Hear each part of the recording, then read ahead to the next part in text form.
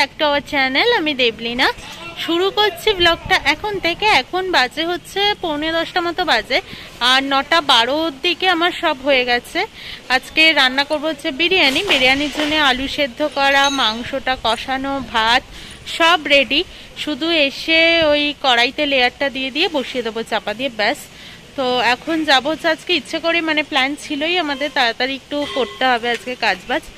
তো এখন যাচ্ছে আগে ডিমার্ট ডিমার্টে চালটা তুলতে হবে আর আর একটা হ্যাঁ দুধ নিতে হবে। তো ব্যাস, এই দুটোই।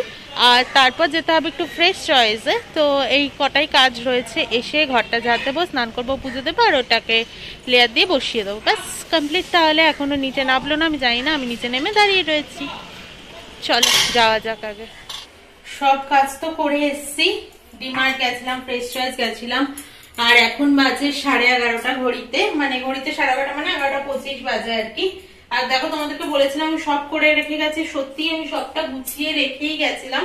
শুধুমাত্র যে কটা বাজবে না বাজবে, ডিমার্টে কীরকম লাইন পড়বে, তো ওই জন্যে এখন শুধুমাত্র লেয়ারটা তৈরি করে রেখে স্নান করব, পুজো দেবো, তারপরে এটাকে বসিয়ে দেবো। হয়ে যাবে তাহলে।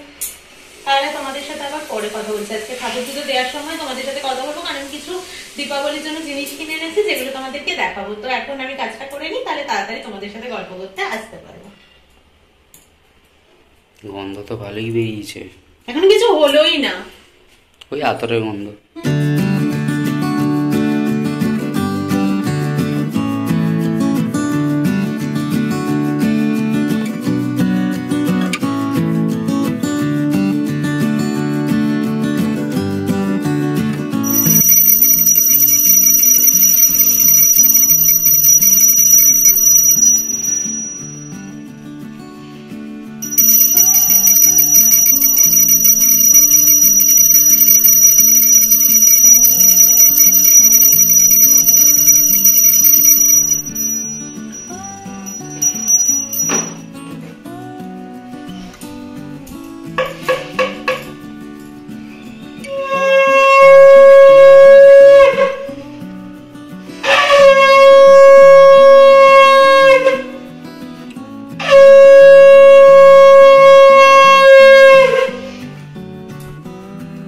তোমাদেরকে বলছিলাম যে দীপাবলির জন্য কিছু জিনিস কিনেছি, কিছুই কিনেছি, বেশি হ্যাঁ কিছু নয় টুনি তো আগে থেকেই লাগানো হয়ে গেছে। আর এরকম ছোট্ট ছোট্ট প্রদীপ কিনেছি। ভেতরে একটা ফুল মতো করা আছে, তো এরকম ছোট ছোট প্রদীপ কিনেছি ছটা। আর এরকম একটা পঞ্চমুখী প্রদীপ কিনেছি মানে পাঁচটা মুখ দেওয়া রয়েছে, পলতে দিয়ে জ্বালাবো। পেছনটা এরকম দাগ দাগ ডিজাইন করা রয়েছে এই প্রদীপগুলোরও তাই ডিজাইন করা রয়েছে বলতে পারো সেট এটার ভেতরেও ফুল ফুলি করা রয়েছে।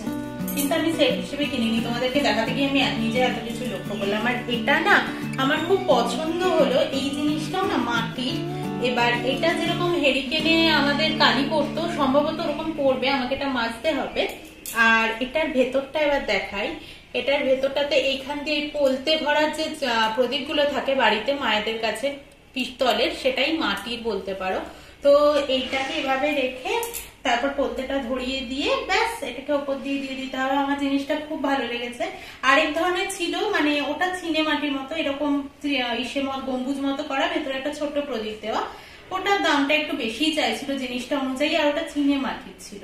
আর আমার এরকম যেহেতু প্রদীপও মাটির এনেছে, তাই এটা আমার খুব পছন্দ হয়েছে। ধুনুচি মতো দেখতে নিচটা। তো এই কটাই জিনিস এনেছি। ঠাকুরের এখানে আপাতত গুছিয়ে রাখি আর কি। ঘুম থেকে না অনেকক্ষণ আগেই উঠেছি, কিন্তু এখন এলাম ছাদে।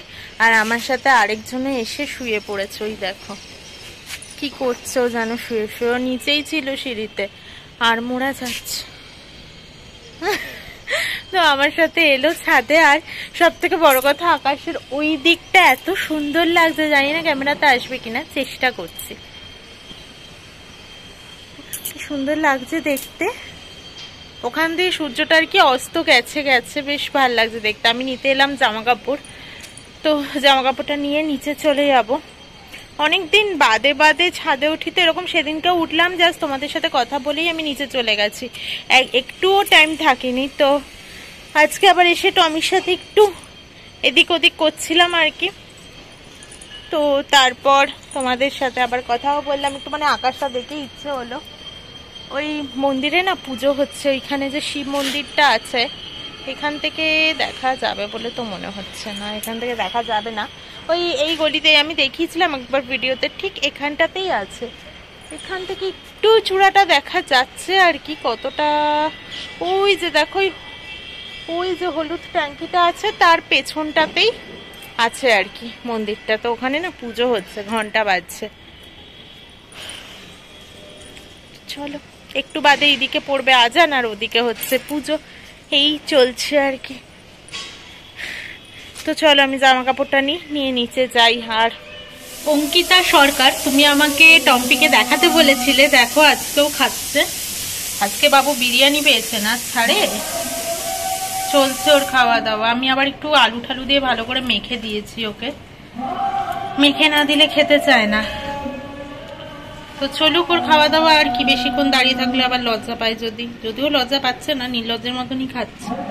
তো চলো, যাওয়া যাক, আমি ঘরে যাই, ও খা সেই বিকেলের পর এখন এখন বাজে নটা সন্ধ্যে থেকে না আমি প্রচুর কাজ করেছি, তেমন একটু বসেও রয়েছি।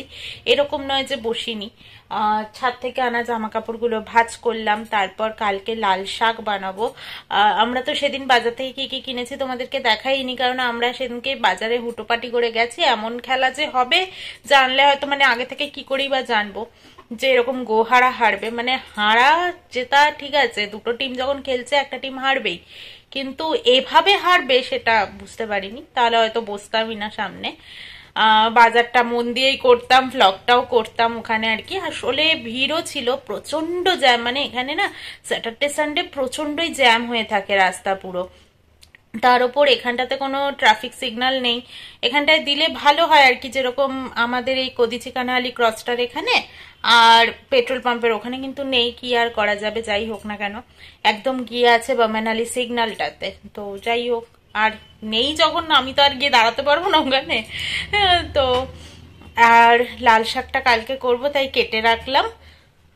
আরও অনেক কাজ করেছি। ও হ্যাঁ দুপুরে বাসনগুলো মাজলাম, তারপরে রাতে হবে, ও বলছে রাতে ধোসা খাবে, তো ধোসার জন্য ব্যাটারটা রাখলাম, তারপরে আজকে বিরিয়ানি করেছিলাম। তার মধ্যে থেকে বিরিয়ানির কিছু বেঁচে নেই, শুধু চিকেন বেঁচে রয়েছে। তো চিকেনগুলোকে ভালো করে পরিষ্কার করে নিয়ে মানে ভাত তো একটু লেগেই থাকে চিকেনে, তো ওগুলোকে ভালো করে পরিষ্কার করে নিয়ে ফ্রিজে রাখলাম। চিকেনগুলোর কিছু একটা ব্যবস্থা করতে হবে। দেখি ওই ব্যবস্থাটা কালকে করব, কারণ ও আজকে রাতে আর চিকেন টিকেন খাবে না ধোসা খাবে বলছে। তো আমি না, ও নারকেলের চাটনিটা দিয়ে ধোসাটা খাই আর আমি না নারকেল জিনিসটাই পছন্দ করি না। তো নারকেলের চাটনিটাও আমার ভালো লাগে না ওই জন্য খেতে। তো আমি আর আজকে ধোসা করব না, আমারটা মানে ওকে করে দেবো। আমারটা আমি গোলা রুটির মতো একটু মোটা মোটা করে করে নেব, আর এখন কি বলতো, আমি ধোসা খেতাম। যদি মানে আমি ধোসা খুবই ভালো খাই, সত্যি কথা বলতে, কিন্তু ওই নারকেলের চাটনি দিয়ে ওটা ভালো খাই না। দোকানে খেলেও মানে উডুপি গ্র্যান্ডেই আমরা খেয়ে থাকি, তো ওখানে খেলেও নারকেলের চাটনিটা জাস্ট একটু লাগিয়ে লাগিয়ে খেয়ে ছেড়ে দিই, আমি খুব একটা ভালোবাসি না। আমি সবসময় এর জন্য আলুর পুর ভরা ধোসাটাই নিই আর কি, মশলা ধোসা। তো আজকে আমার আর প্রেশার কুকারে আলু সেদ্ধ করে নিয়ে নিজের জন্য এত হ্যাপা করতে ইচ্ছে করছিল না যে আবার প্রেশার কুকার মাজতে হবে। বার করলেই আর দুটো আলু ও সিটি মারতে মারতে। আর এখানের আলুর মানে ওই পাতলা পাতলা করে কেটে যে সেদ্ধ বসিয়ে দেবো সেদ্ধ সেদ্ধ হবে কি না আমার কোনো গ্যারান্টি নেই তাই জন্য। আলু এখানে খুবই খারাপ।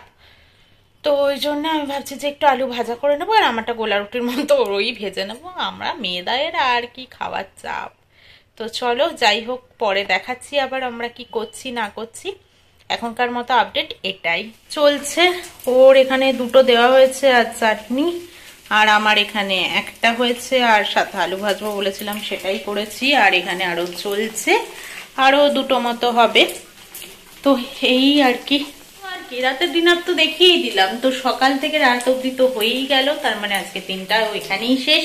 কালকে আবারও আসব একটা নতুন ব্লগের সাথে। ততক্ষণের জন্য তোমরা ভালো থাকবে, সুস্থ থাকবে, সাবধানে থাকবে অবশ্যই। তো চলো, আজকের মতো টাটা। আর যদি কোনো নতুন বন্ধু চ্যানেলে এসে থাকো, যদি একটু কিছুও ভালো লেগে থাকে, তাহলে প্লিজ প্লিজ প্লিজ সাবস্ক্রাইব করে দিও লাইক করো শেয়ার করো কমেন্ট করে জানিও তোমাদের কেমন লাগল। আর যারা আমার সাথে অলরেডি রয়েছে, তাদেরকে বলব অসংখ্য অসংখ্য অসংখ্য ধন্যবাদ। তো চলো গুড নাইট